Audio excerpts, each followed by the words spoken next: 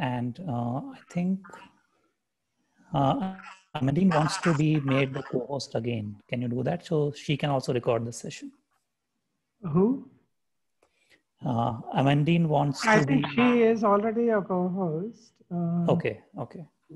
She's already a co host, uh, so she should be able to. Uh, I'm sorry, I disconnected and reconnected. Speak here. Okay, I think the recording has started.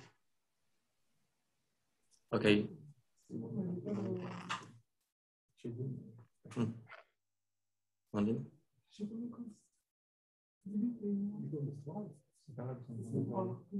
Yeah, in fact, she was disconnected and she don't have, she is not host anymore.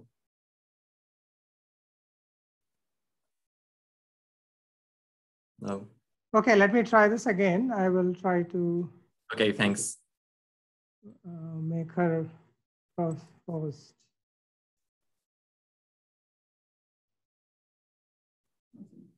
Yeah, that's okay. Perfect, thanks. So, hello everybody. Thanks for attending this online presentation. So, I'm Guillaume Sarthou, and with my colleague uh, Amandine Mayima, Guillaume Buisan, Phani Teja, and Yari- Yannick Rioux, we are going to present an introduction on human-robot interaction. As I already said, if you have any question uh, during the presentation, do not hesitate to ask them in the, in the chats. Uh, we will answer them either in the chat during the presentation or at the end of the presentation.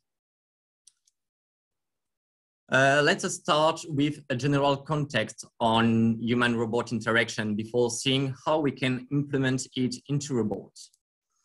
Before seeing how we can make robots interactive with interacting with humans, let's take a look at and the company tend to sell us about our future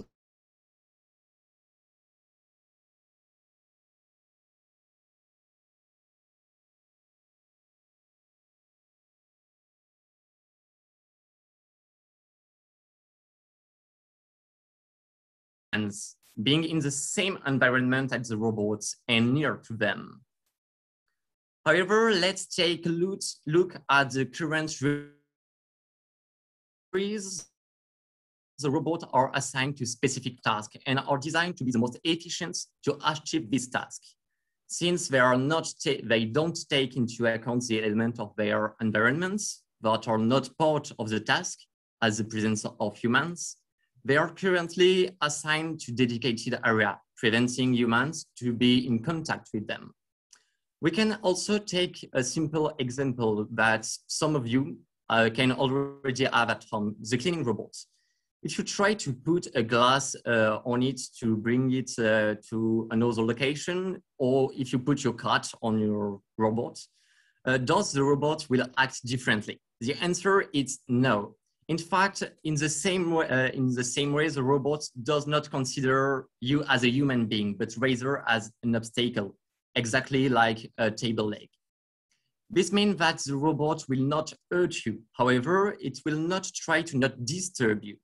For example, if you are cooking in your kitchen and the robot is cleaning it, you will not have to, you, you will have to avoid it, avoid it and not the inverse. Finally, we have to speak about Boston Dynamics because they're so famous. Uh, their robot seems to be the most advanced ones with amazing movement and being able to dance. However, I challenged you to go dancing with them. They execute pre-computed, in fact, movement, and even if they manage their balance, they will not, uh, they will do the same movement if you're there or not. This means that they are not designed to be in contact with humans.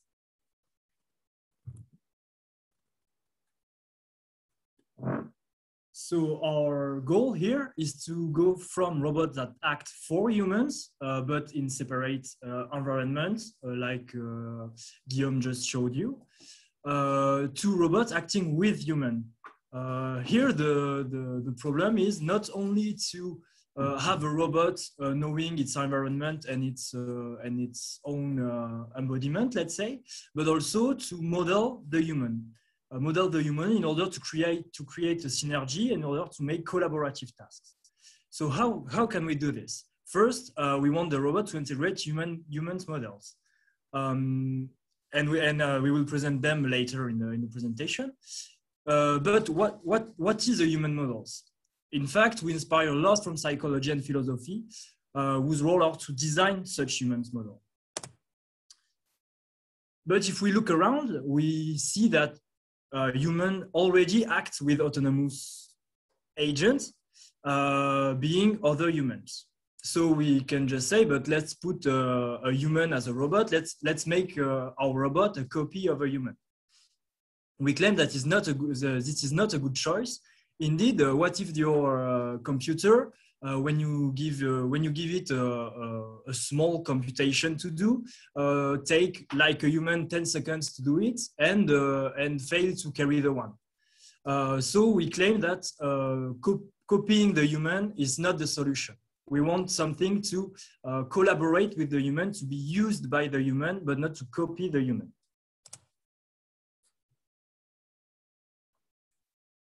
So uh, we want a robot which adapt to humans and not one, one imitating them. So we studied uh, what is needed for, uh, for humans to collaborate together. And uh, with this information, we can build a robot uh, that will be a good collaborators for the human. So we need a robot with cognitive representations uh, that knows that humans have cognitive representations um, so uh, we know that when collaborating, humans share knowledge, such as the vocabulary, uh, the effects of action. So if the robot um, put something on the table, it will know that uh, the effect is uh, the object is on the table.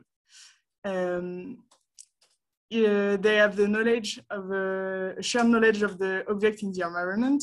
So if uh, the robot uh, see an object, uh, it will be able to, to compute if the human is able to see the same object or not. And the procedure, how to do a particular task, and also the social norms, how the robot should behave or how the humans um, expect that the robots behave so for example, if the robot talks to the human without uh, looking at them, uh, it will be weird for them.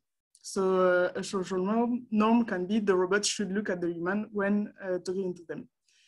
Um, and uh, they share a goal, so they can agree on the goal uh, they should do, and then share, share a plan. to, do, to execute the plan, they uh, share, uh, they uh, monitor each other, uh, the position, the actions, and the beliefs. So uh, we have uh, this representation that show, show how partners in a task can have their representations. So I'm going to talk to you about the implementation that we've done on our robot. So this is an overview of the architecture. I'm going to briefly present you step by step. Then in the second phase, you will have a more detailed presentation of each component, except the natural language processing that is not our field of expertise. Uh, we just use it out of the box. The architecture takes inspiration of the previous works of our thesis supervisor, supervisor Rachid Alami. All the components, as you can see, are inter interacting with each other. We could even say they are rely they rely on each other and they are interdependent. I'm going to start with the highest level component of the architecture, what we call the supervision. We say it is the highest level component as it receives its information from all the other components, take decision and make the robot execute them. It decides what is the current goal, sometimes negotiated with the human partner through dialogue. Once it has a goal, it gets a plan for, um, for, uh, from the planner uh, that we can see in green. Then it executes the plan, that is to say that the robot executes its allocated action from the plan thanks to the motion planners in yellow and monitors the ones allocated to the human to know where they are in the plan. If something unexpected happens, an error, it can try to communicate with the human and or uh, get a new plan. All the decisions are taken based on its knowledge and perception of the environment and of the human. The knowledge come either from the supervision itself or the knowledge bases in red. The symbolic planners are divided into two categories, the domain-independent plan, uh, planning high-level tasks and the domain-dependent in solving precise problems. Here, symbolic means that the world, the data on which we base ourselves, uh, are, um, are facts. We represent a fact as a triplet, that is to say, uh, a verb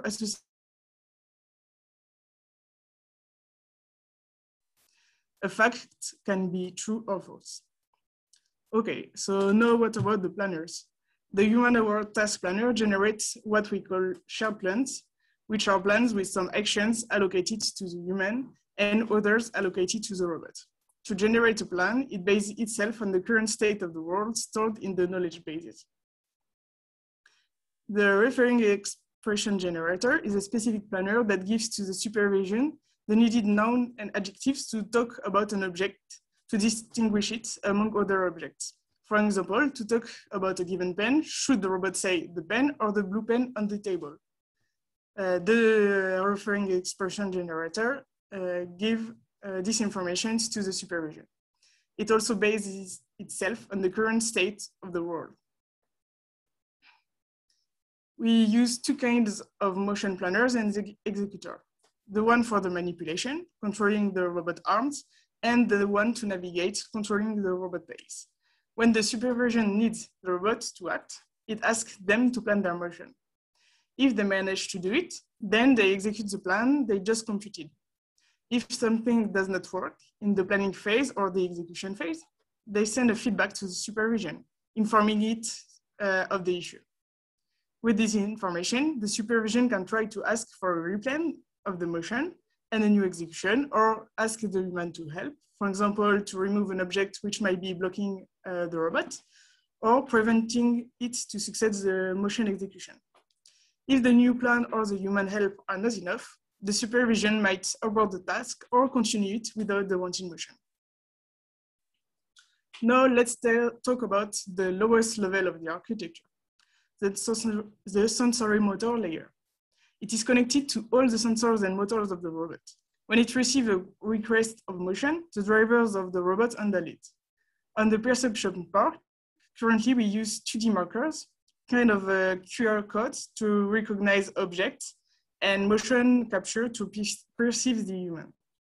A person interacting with the robot has to put a helmet with reflective markers on it and uh, also uh, on its head, on the hand. These perception data are sent to the situation assessment component. The situation assessment component handles the geometric data from perception, integrating them to its geometric model of the environment, which is created offline. It transforms the geometric data, for example, the, mug, the mug has coordinate, coordinates x equal zero, y equal one, and z equal one, the table has also other coordinates. Uh, and from these coordinates, uh, it computes symbolic data such that the mug is on the table. It also computes the perspective of the human, generating, for example, the human is able to see the mug uh, blue. Geometric data are sent to the motion planners uh, they need precise positions of the entities. The symbolic facts uh, feed uh, the knowledge bases. Uh, and finally, the symbolic facts generated by the situation assessment, as I just said, are sent to the knowledge bases, representing both the robot's knowledge and the human's estimating ones. We distinguish two kinds of knowledge bases, the semantic knowledge base and the episodic knowledge base. The semantic one contains the facts fed offline, such as a table is a sport, and the, the episodic one contains all the facts generated of, uh, online, coming from the situation assessment or deduced by the component itself. Um, so we have seen an overview of the architecture. Now we are going to present you uh, with more details each component uh, one by one, starting with the knowledge base. So uh, used by robot not interactive with humans. In the following, we will just present you how we really take into account the human at each level of the architecture. We start with the estimation of the human knowledge about the current situation. To represent the robot knowledge, we use what we call an ontology. We can define the hierarchy of uh, the general concepts, like the fact that the robot and that robots and humans are kind of agents, or the fact that a table is a kind of support.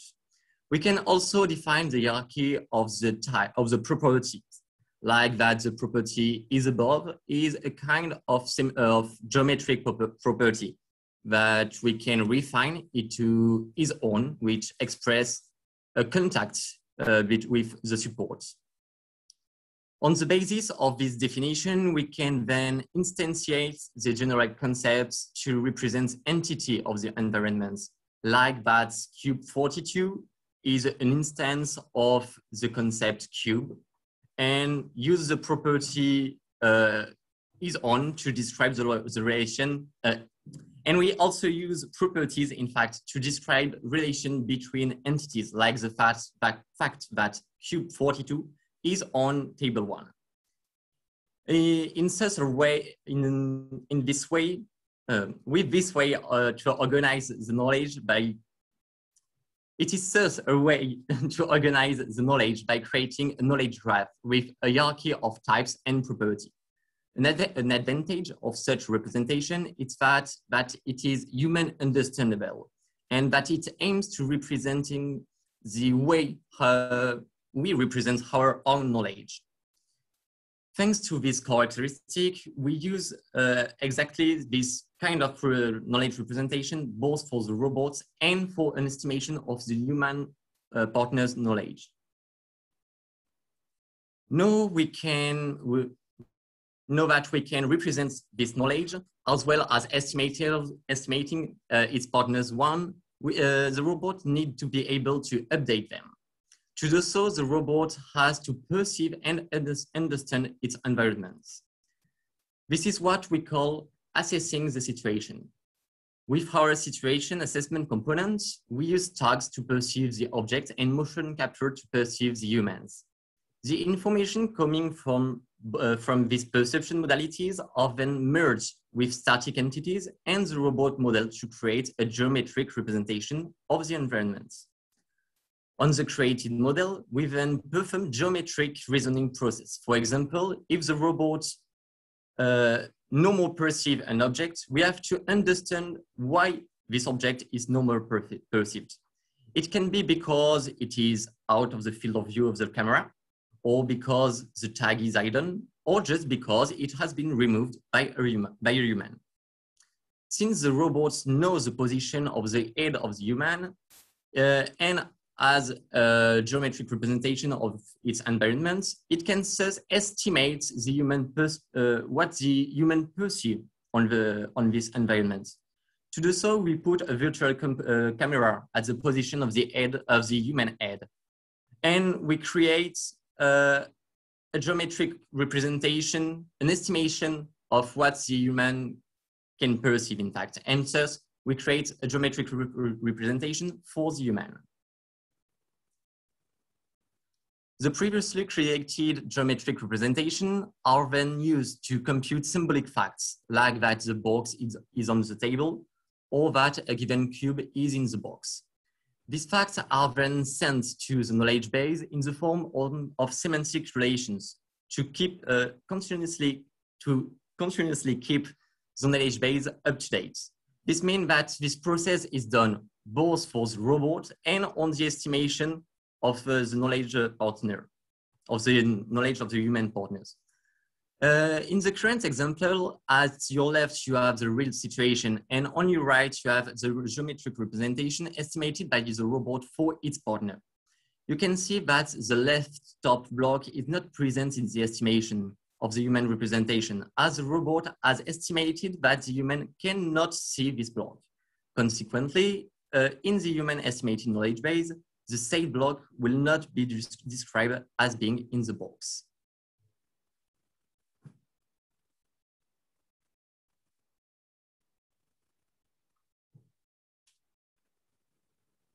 So um, based on what Guillaume just said on how we organize and then deduce and update knowledge, uh, we can then create uh, domain-specific symbolic planners, uh, allowing to express and to communicate this knowledge. Uh, to do so, uh, I will present you uh, two, two specific, well, two domain-specific domains. For, the first one aims at referring objects in the environment. So uh, let's take again the example uh, with the blocks and the boxes. Uh, so uh, if we need the robot to be able to designate a given block to its human partner, let's say uh, the one uh, circled in red in, on, the, on the picture on the right, if we consider what, what Guillaume just has introduced previously, the robot knows that they don't have the same knowledge about the current situation to communicate about an entity uh, of a given situation. So we use what is called referring expression generation because we want to communicate information to the human, this planner is run on the human's estimated knowledge base. As Guillaume showed, we have two knowledge bases, one for the robot and one for the human, one for, the, well, one for each uh, human's uh, estimated knowledge. So we run on the human estimated ones. Um, by doing so, we only communicate about entities where the, the robot estimates the human knows. So doing and doing so as a second advantage, being that uh, we estimate him to not know uh, that we, yeah, sorry. Um, the second advantage is uh, we estimate him to not know, uh, not to be considered as being able to impact his understanding of communication.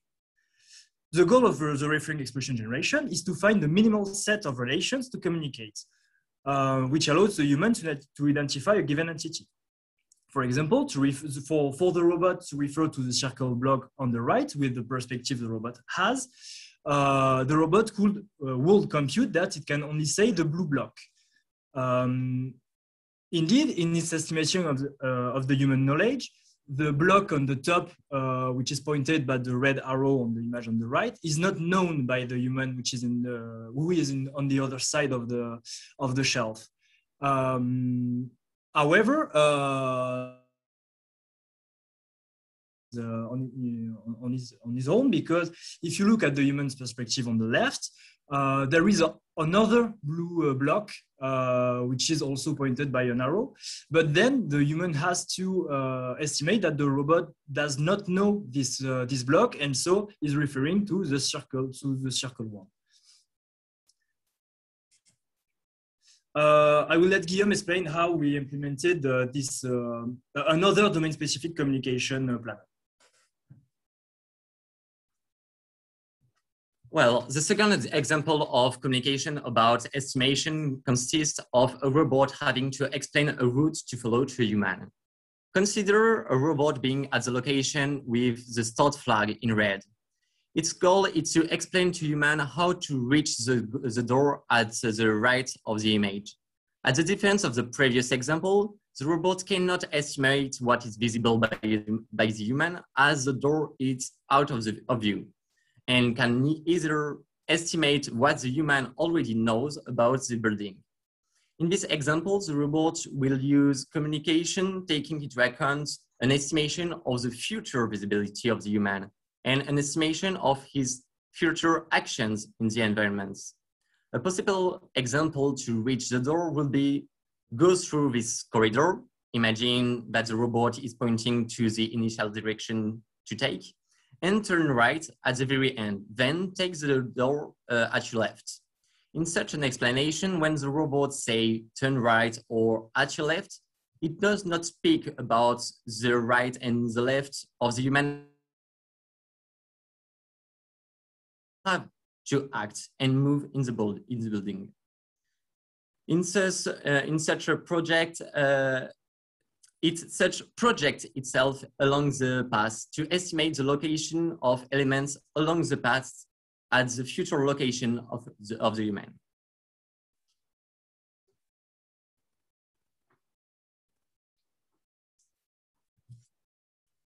Next, uh, we move on to the, how the robot accounts for the human motions and moves in a human environment. So uh, the robot moving in a human environment like this uh, needs to estimate the possible motion of the human, like how will how will the human move in the vicinity, and also uh, how will he react uh, to the actions of the robot to complete the navigation finally. So on the top of this, the robot also needs to obey certain social norms that are prevalent in the society. This increases the legibility of the robot motion and also increases the acceptability by humans. So now we'll proceed to how we do it. So I'll briefly give a small description of robot navigation and how it works. So as we can see from the simple figure, once the navigation goal is received by the system, it first does the path planning, followed by the trajectory planning, and finally computes the command velocity that is sent to the robot. Now, if, if we expand it, this is how it looks like. After the path planning is completed, the control loop takes over and tries to follow the planned path, avoiding the obstacles. This involves the planning of the trajectory based on the updated odometry, world information, and all the information that is needed uh, to compute the next command velocity. Now, the path planning is not uh, replanned every instant or every second, but it is replanned only if it is not valid in some sense of uh, validation. Now, let's see how this changes with the humans in the loop. Here, the system has to know the whereabouts of the humans along with the navigation goal. So this can be provided by, uh, like you can see in the figure, like we have to provide the goal as well as the human separately. And the human tracking can be provided using motion capture, as we said earlier. Also using a tracking system mounted on the camera, which can be used for outdoors. Once we have the required information, we can now use the human prediction system to predict how a human might move. However, this is not really easy because humans are not entirely predictable always and they can do whatever they prefer to do in the environment. Okay, so now after coming up with some approximate human prediction, how can we use this? Or precisely, should it be a part of the path planning or trajectory planning? So the answer can be different based on different situations. So for example, in this work by Kollmitz and et al., like they have used a, a path planning uh, they have tried to in include the human prediction system into path planning uh, with a simple controller which follows the path. By including a constant velocity prediction, they reduce the unnecessary path deviations caused by the continuous planning and replanning. So now it could also be a part of uh, trajectory prediction, sorry, trajectory planning. Now, in a more recent work by Chen et al., the human prediction is used as a part of trajectory planning assess the situation and to take a appropriate command velocity to the and send a appropriate command velocity to the robot. Usually this setting is more advantageous because it's more reactive and also um, more cooperative uh, for a human setting. So now, uh, okay. Okay, now coming to our methodology, we do something different. Like we do prediction based on planning. So we do the planning for the human along with the robot, assuming that the human might follow all the social norms and does not collide with the robot. With this assumption, we try to plan for the human. Now, what is the advantage of this kind of system? So now we have two things, like we still have the approximate prediction, which we discussed earlier, but also something extra, which is a possible plan for the human, which if followed will lead to the successful navigation of both robot and the human. This type of elicitation of solution is helpful when you are in a very complex navigation scenario where you, you might need a robot to act first and then you provide a solution to the human. So, sorry, consider the example shown here. So the robot and the human have to cross each other in a corridor. The goal of the robot is on the left end, but we do not know the goal of the human. Therefore, we also need a goal prediction system for example, uh, what would be the possible goal in the system? So in this scenario, for example, the goal could be on the other end of the corridor. Likewise, we can uh, predict goals in the environment based on places of interest like maybe door, office, or some uh, a corridor where the human needs to go, or place uh, the objects of interest like maybe a table or the dustbin or some TV, whichever is in the environment. So with all this, we can now finally plan for both human and the robot, like shown in this figure, and then we can get the command velocity for the robot. So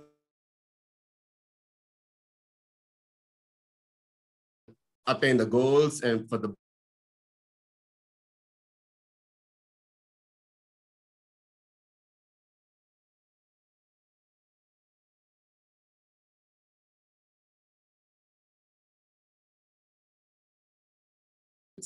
I have uh, shown in this graph between each node, I mean, the circles are the nodes. So between each node, we have this uh, different constraints which are represented, uh, represented as edges.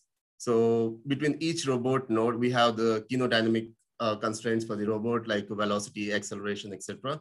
And this is it's also a place for between human nodes.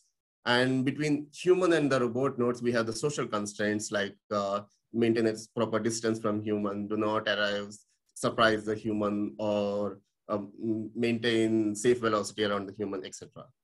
So now once this graph is built, we do a, uh, so these are the different constraints we highlight. And then once this graph is built, we do a sparse optimization on this graph to finally obtain the trajectory, which is shown on the right. So once the trajectory is obtained, we compute the current uh, command velocity that is sent to the robot to have a legible human robot motion. So here are some examples of uh, the results in the scenario. So I think I'll play the first one. Uh, okay, yeah. So here is a door crossing scenario on your left with the proactive planning. The scheme uh, we described, the robot was able to predict a possible human position and also clear the way for the human and and also waited for the human until he crossed. And on the right, we have the corridor scenario, which we described earlier. So in this case, the robot uh, clears the way for the human and uh, proceeds to one side of the corridor to uh, say that you say that the preference to take a preference and give clear way for the human. So yeah, so now we try to show them examples in real life with this scenario. So this is the corridor scenario again. So the, the robot kind of moves uh, sideways to give way for the human and the human also cooperates to finally complete the navigation. So next we present a two human scenario where we have two humans trying to go along with the human, uh, along with the robot and the and the robot has to change the plan in between because the other human decides to go on the uh, on the left side of the robot. So now there's one more scenario, the door crossing scenario, which we described earlier. So you can see that the robot adapts and does not block the human's path and just uh, takes an alternative path which does not block the human. Now, until now, we have seen simple scenarios or like uh, pretty cooperative human and all. So what if we have some non-cooperative human? What if we have uh, some non-ideal scenarios? For example, what if the human blocks the robot's path? So you can see in this example, the human does not really cooperate and just comes in front of the robot and blocks the robot's navigation. So the robot then tries to follow the same path, but it's confused that whether it should go on the same path because it will be too close to the human and the, thinks still the human is still going to move. But then we have updated the system a bit, which kind of gives us the idea that uh, the robot, the, the human is not moving anymore. So I think you don't need to plan. So the robot kind of tries to plan for the human for a while and then moves on to stop planning and then uh, carry on to its goal. Now this, the, now this is one of the scenarios and we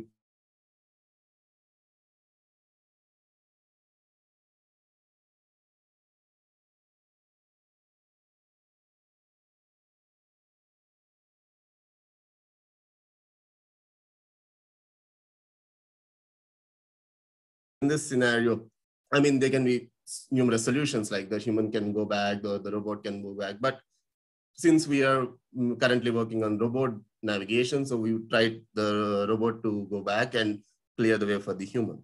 So like the robot tries to go, but it sees that the human blocked the way. So it kind of backs off slowly and then waits on the, waits for the human until the human crosses the pathway. So yeah.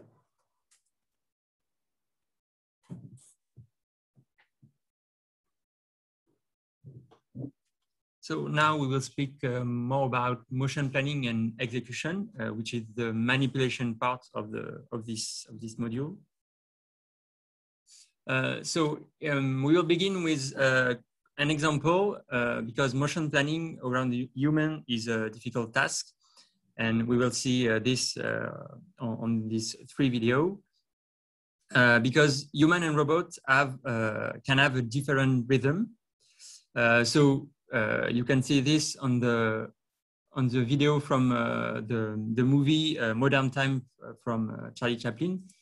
here you can see that the robot isn't uh, the robot uh, have his own rhythm and the human must comply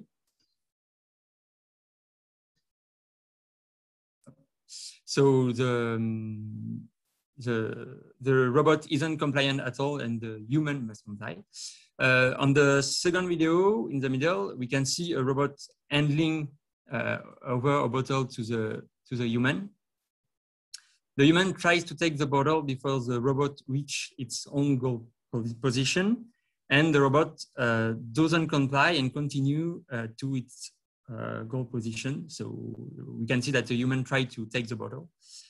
And on the third video, we can see that the robot is more compliant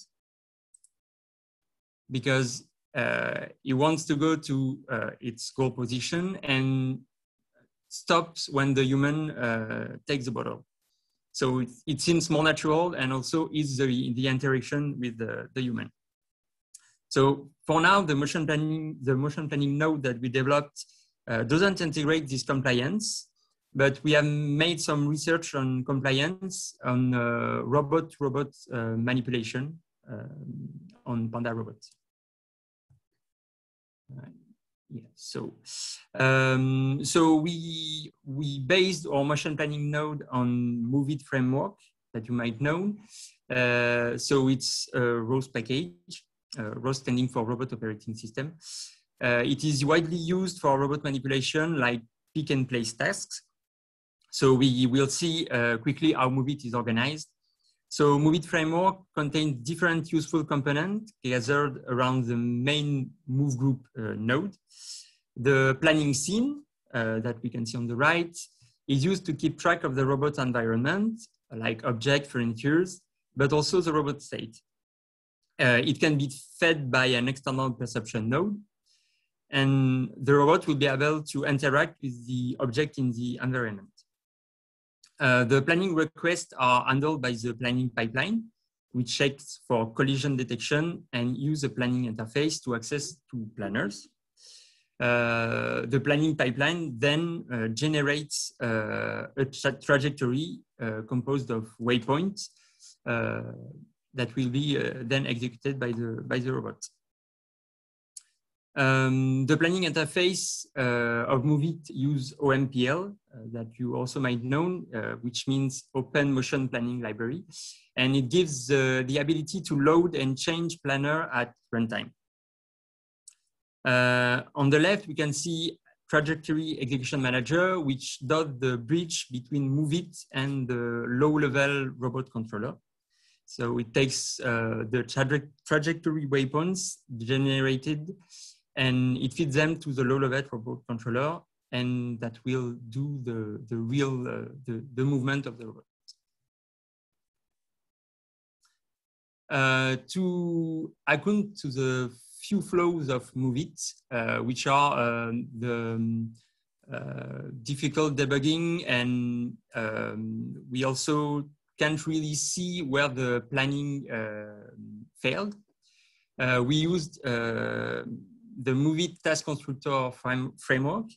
Um, so it gives the ability to see which part of the of the task that we are building uh, is failing and why.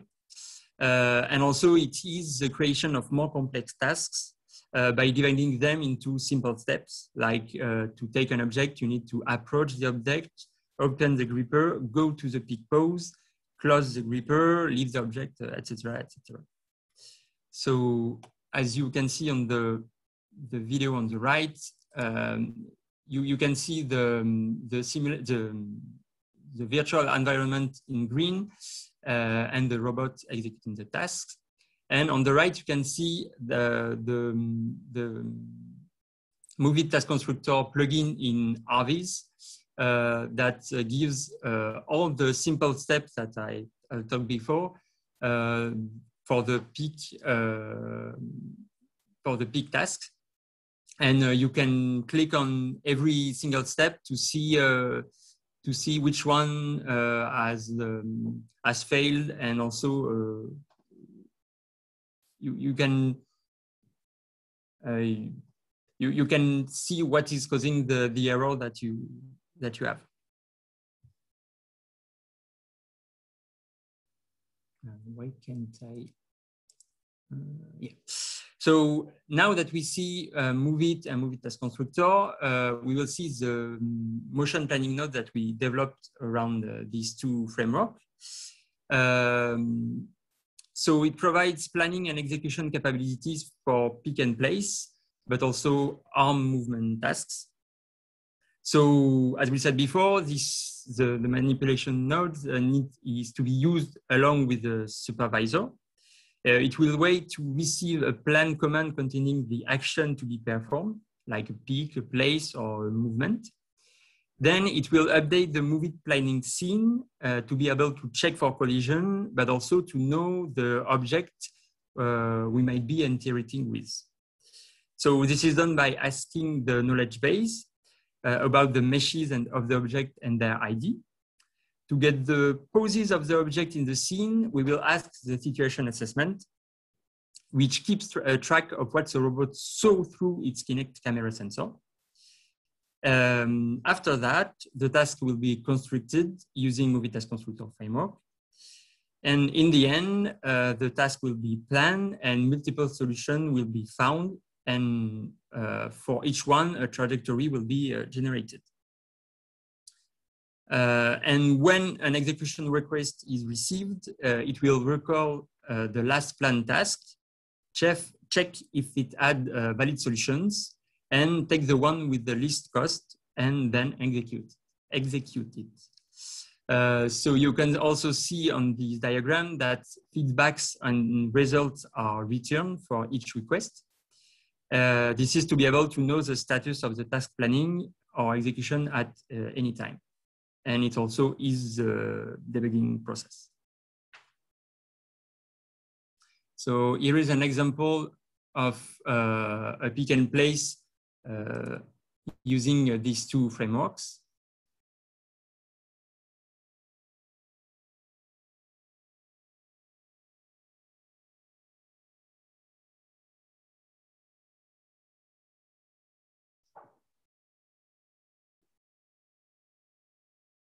And I think I will pass. J'arrive pas à chaque fois. Si c'est bon. So after we, so now we have seen the motion planning part, uh, where the um, so where the robot has to uh, compute and plan for its motion, uh, as well uh, while taking uh, account for the human. Now we will see um, symbolic planning. So a few words about symbolic planning. As Amandine said earlier, symbolic planning uh, in symbolic planning, sorry, we have uh, the world state represented with a set of facts or fluents. Uh, then given an initial world state and a goal world state, as well as a set of actions able to change this world state, uh, symbolic planning aims at computing a plan constituted of sequences of sequence of actions to reach the, the specified goal. However, uh, if we consider the human, the human can also act. So we have to consider uh, them during the, the planning process. Uh, moreover, the robot can have, or the human also have the ability to create a shared goal, uh, leading to shared plans. So while accounting for both agent actions. Uh, but uh, the, the, planning, well, at, at the result of the planning process, we can control the robot. but it's not the case with humans if we want if we want to have a chance for a human to do something the planner wants to, uh, we have to make communication actions. But sometimes communication either are not possible or costly because maybe the environment is noisy and so on. Uh, but still, the human actions can be predictable, but not fully controllable. Uh, to do so, uh, we chose to, to use hierarchical task network planning. So a few words about uh, classical hierarchical task network planning. So it aims at recursively selecting a decomposition for high-level abstract tasks until they are all resolved as applicable primitive tasks or actions. So actually, you put uh, uh, your expert knowledge about how you want the robot to be able to do the tasks and then the robot has just to choose between several uh, possibilities to, to perform a task until uh, it planned that the possibility can be done. And so uh, what is funny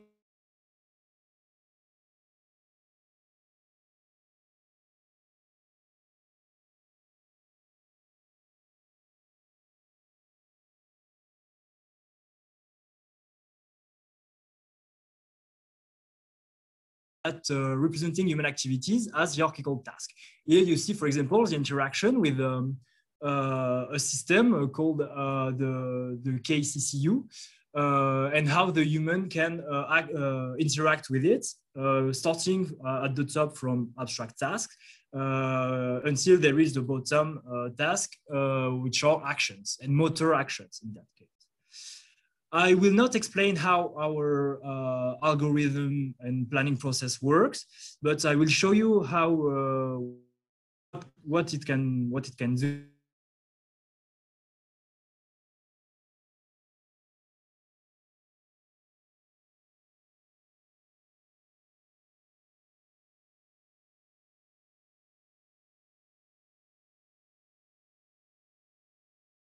The water machine, the, the, sorry, the coffee machine must be filled with water, which can be uh, uh, retrieved at the sink. Uh, so first, let's uh, forget about the human for a bit and uh, just uh, see how, well, with classical HTN network, we can solve this task. So we are able to make a, a, hierarchical task network and to plan for this specific initial world state, leading to this plan uh, where first the robot will get, will get water to do the thing, then, then put it in the coffee machine. Then the robot will get uh, coffee to the kitchen cupboard and put it in the coffee machine, and the coffee will be uh, ready to be served. Uh, however, now uh, the robot detects that a human is nearby and maybe will compute that asking for human help will be more efficient in accomplishing the task. So the, uh, we so we model that the human can do this, and we model the robot uh, also can do this, and so the robot can now plan that uh, first at the left uh, you see the robot asks the human, uh, "Can you can you help me to make coffee?" Then two situation happens. We so we model that the human knows how to make coffee, but it can do it in two ways he can either go and uh, search for coffee ground or uh, go and get uh, uh, water for the coffee machine. Uh, giving us a conditional plan. and you see it branches, one, one branch is on the top and one branch is on the bottom. in either case, the robot will, well, the robot plans to adapt to the human actions by uh, completing the actions by either uh, going to get water if the human uh, uh has uh, already has a coffee coffee ground or uh, or getting coffee ground if the human already has water. However uh, we saw that uh, sometimes, and actually uh, the majority of times, uh, beliefs are not al aligned. Uh, there are differences between beliefs of the robot, what the robot knows about the world state, and what the and what the robot estimates the human know about the about the world. For example, here we depicted a situation where the robot knows there is no coffee in the kitchen cupboard, but only in the pantry cupboard. However, the robot estimates that the, the, the, human thinks there is coffee in the, in the, in the kitchen cupboard. Uh, so uh, if, the, if we just uh, execute the plan before, the robot can, can plan that uh, the human uh, will first get coffee at the kitchen cupboard, which is the closest to, to them, uh, find that there is none, and then go to the pantry cupboard. However, we can also endow, uh, endow our robots with the ability to update the human, uh, the human world state via a communication action uh, on which we can estimate its cost. Um, and then first you see uh, the top left uh, picture, the robot will ask for the human to help. But uh, say that uh, watch out, uh, human, there is no coffee in the in the kitchen cupboard. Updating the belief, as you see in the in the bottom row on the left, and so the human will directly go to take coffee at the pantry cupboard without mistaking and go to the kitchen cupboard. Uh, however, with a plan uh, like this, uh, well, a plan has no point if it's not executed. So I will let Amandine talk about the supervision.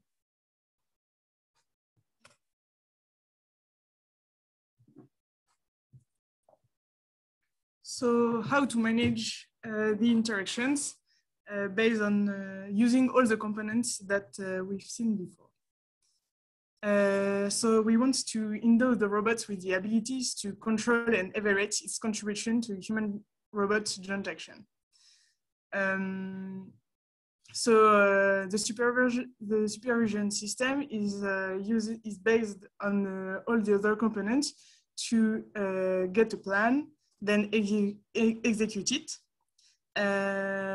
but it's not only follow the different step of the plan, it has to be aware and analyze uh, everything that is happening in the environment to make the right decision at the right time. Uh, so for example, if it has to give a cube to a human, which is in the plan, but the human is not here, uh, the robot has to make the decision to not give the cube yet to the human and wait uh, that the human come back, which is not in the plan. Uh, it has uh, to handle also uh, all the contingencies that can happen. So um, what I just give as an example is a sort of contingency, but it can also be, uh, for example, if the robot has to take a cube, uh, but uh, does not manage to take it because it cannot see it. So for example, it could ask the human to see it, to move it so it can, it can see it. Um, a contingency can also be the human not doing uh, its action. Um, so how the robot should react uh, when the human does not, uh, they're part of the, of the plan.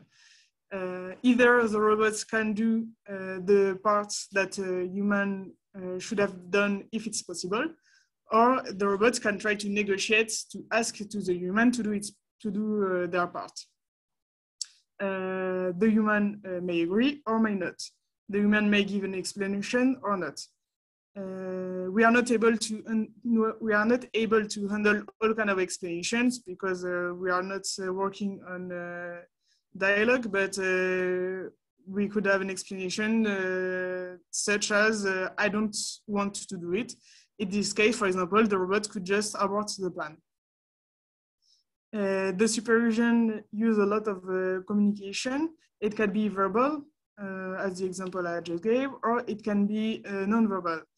Uh, the head moving is a communication. For example, if the robot uh, asks the human to take a given cube, it could also at the same time look at this cube, giving a non-verbal indication of the cube the human should take. Um, also, we work on the task that uh, we will explain uh, just after, uh, which is a robot guide. So make the use of pointing with uh, its arm, uh, which is also a non-verbal communication. Um, and uh, we took an interest on how to measure if an interaction is going well or not. if the robot is able to see if at some point something is not going well, but more generally that, uh, than an action failing, the robot could uh, try to adapt. Uh, so I'm going to explain how we did to make the robots measure the quality of an interaction. Oh, uh, yes, first, uh, just uh, giving an example of um, how the robots can try to take initiative to avoid being stuck. So for example, here it asks uh, the, the, the human asks the robot to take the green cube, but um, uh, and there are only one cube, one green cube that the human can see. Uh, the human cannot see the green cube, which is on the top left uh, of the shelf. So the robot deduced that uh, the human was talking about the one uh, below. when the human asks to take the block with a triangle, however, here, uh, there were two possible cubes that the robot could take. So instead of being stuck and the robot not doing what he should do, it just asked the human, thanks to the referring uh, expression generator, should I take the green the cube with the green triangle or the one with the blue triangle? So now we are going to focus on the quality of interaction.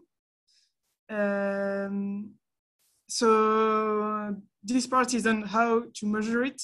And we are not going to take to talk about uh, how to use it then to make the decision.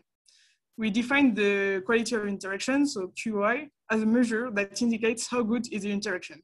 It is assessed at three levels, the interaction session level, the task level, and the action level. Uh, each uh, QE measure takes also into account the data of the other QE level. So for example, in the task QI, uh, we took into account uh, the action QI and also the metrics that we defined. Uh, the real-time ev evaluation process performs computations every one second. First, it gets the measurements of selected metrics. Then with an equation that we will not describe here, uh, it computes a QI value for the ongoing action using the measurements of the metrics selected, selected for this given action. It also computes a QI value for the task based on the metrics selected for the given task and based on the action QIs previously computed at the task quality depend on the action's quality two output values are between minus one representing a poor quality of interaction and one representing a high quality. Uh, so the set of, of, metrics we define to be able to do it um, is uh, based on metrics related to human engagement and action effectiveness. Uh, we define two metrics to measure the human engagement in real time. The first one uh, is the human contribution to the goal. Uh, it allows to evaluate how well the human performs during the task. For example, does they put the right cube at the right pace at the right moment? The purpose of the second metric, fulfilling robot expectations, is to measure if the human is behaving the way the robot expects uh, when the robot is acting. So for example, when the robot speaks to the human, it will expect them to look at it. Um, then we define three metrics to measure the effectiveness in real time. The first one is the variation, uh, the variation in the distance to the goal. Uh, it measures if the agent is getting closer to its target position over time. During a normal execution, at every time step, the remaining distance should be shorter than at the previous time step. step. Uh, the second metric compares the current estimated time to the goal with the initial estimated time to the goal taking into account the current task duration. If the action is supposed to last five seconds when it starts, but after two seconds of execution, then the remaining, style, the remaining time is still five seconds, something is not going well. Finally, the last metric checks if the duration of the ongoing action or task is going over the usual time of the execution or not. Uh, so we are going to give you now uh, examples of uh, collaborative tasks. Okay, so the first example will be about the direction giving task of the robot in a shopping mall. So this was a part of the uh, EU H2020 project called the Multimodal Mall Entertainment Robot, or in short, MuMMER. So this is done in collaboration with our partner universities, with LAAS focusing on the direction given task and also the integration of the entire system uh, uh, and handling different parts of the project. So, uh, so uh, what have we done in this uh, direction given task? So uh, this can also be called a, the point in task and it can be seen as like uh, a combination of both uh, guiding to the destination and also providing route directions to the destination. So normally if a customer asks to go to a specific shop or some location in the mall, we can either assist the customer guiding until the destination, or we can also give directions like go straight from here, take a left, and then take a right, something like that. So what we do is in pointing task can be seen as a trade-off, as I said earlier. But uh, so we ground on different route description. We ground our sorry, we ground our route description on different landmarks in the mall, like uh, shops or restaurants, and we try to point in a particular direction, either showing the landmark or the uh, direction to take, or even the destination in some cases. So the customer then can converse with the robot until he can understand the uh, directions properly, and then also have multiple queries before uh, they proceed to their goal. So this seems quite uh, this seems like a quite easy task, but if we go into the details of uh, real-time implementation and also uh, how in the real world deployment, it's not that easy. So like we, try to see some of the points that we might need to account in a real life, apart from uh, even having a well-designed system like we presented. So uh, the first thing we need to account is for the uh, human capabilities or preferences, like if the person can take the stairs or he needs to use an elevator or something else. So the next thing would be the computing the best route based on the uh, preference of the customer uh, and also his position and uh, taking into consideration like the previous knowledge which is already there. So th this is the one of the not so easy ones because we have to remember everything and have the knowledge base as we described earlier. And also we have to account for the uh, visuals perspective of the human, like what the human can see when the robot asks, uh, is at some place. It assumes that the human will be at, at some point with the with respect to it, and then tries to estimate the visuals of the human so that it can show point in the proper direction, and then finally uh, give the right description using the landmarks that it, is, that it is showing.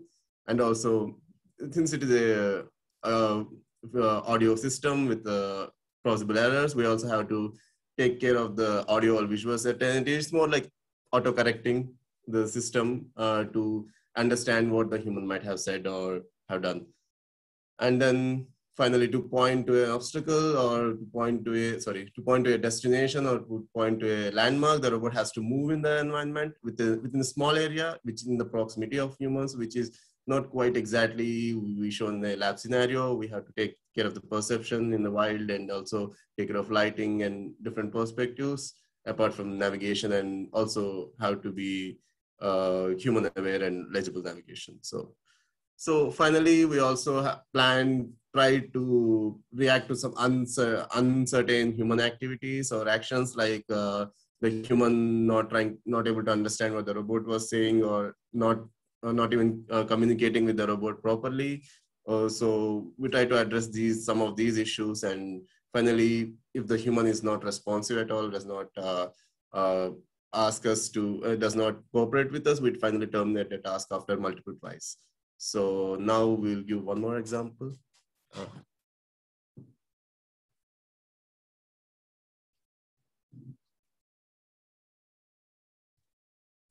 Yeah, for her second example, we will, we will uh, introduce you a task called the director task.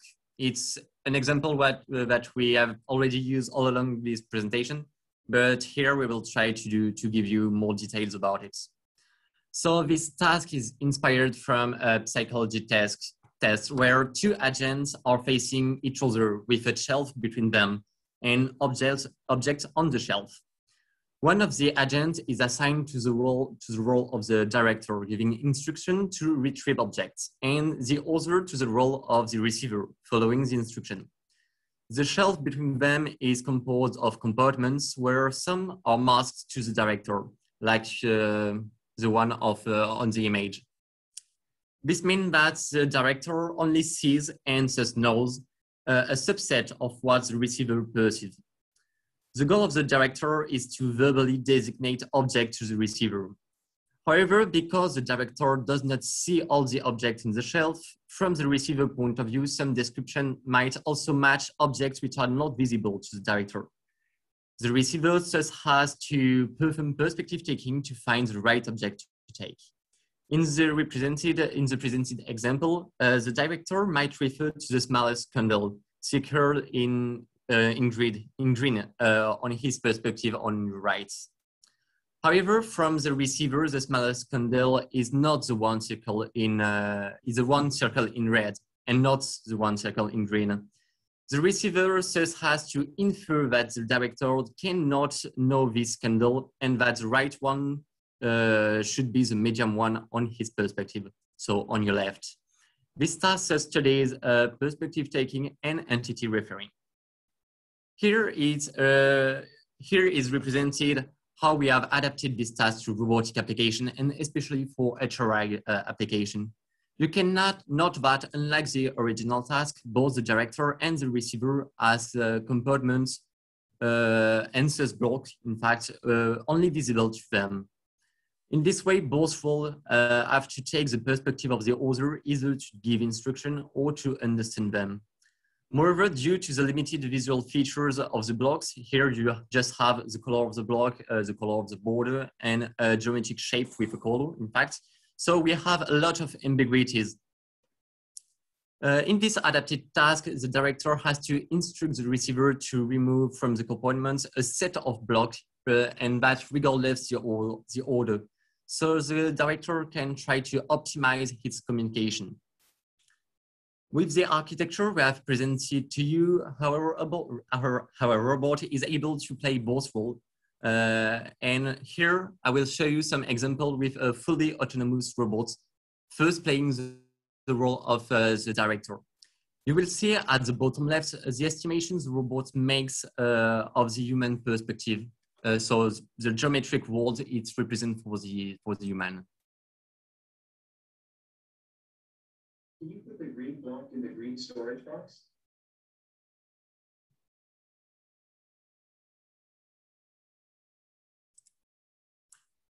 So here the robot has asked for the green block because even if it knows two, two green blocks, it had estimated that the other one is unknown from its partner.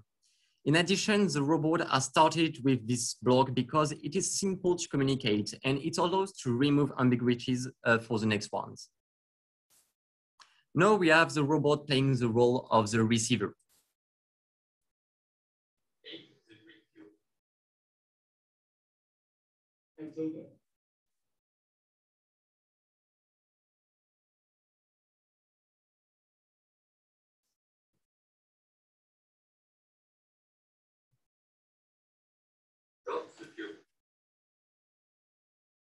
Circle.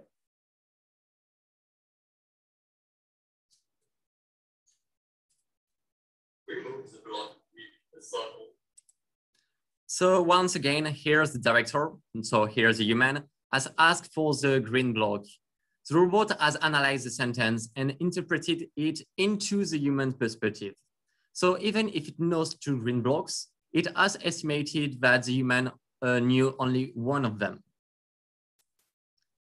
Uh, in the two presented example, we had a focused human, not making any mistake, but what happened if the human give incomplete instructions?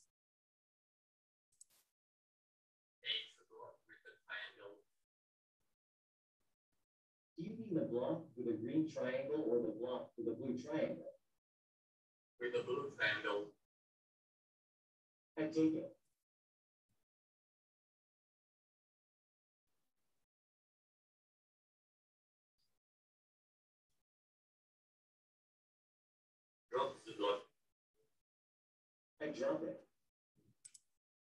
So here the robot has not been able to find the, instructor, the instructed block and has helped the human to refine his instruction like Amandine presented you uh, just before.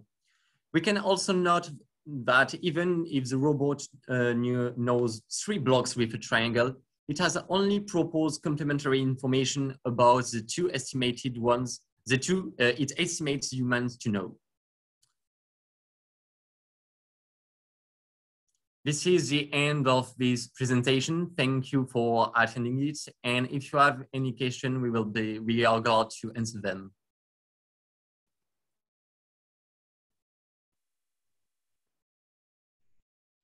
Okay, thanks uh, to Lou's team. It was really very interesting and um, I think most people benefited from this tutorial, very educational. Uh, we hope that we will uh, also uh, cooperate in other ways in the future. And uh, I think Amit has managed to join now. Uh, if you have uh, any questions, please continue to type in the chat. I think we still have some time left. so please feel free to ask questions.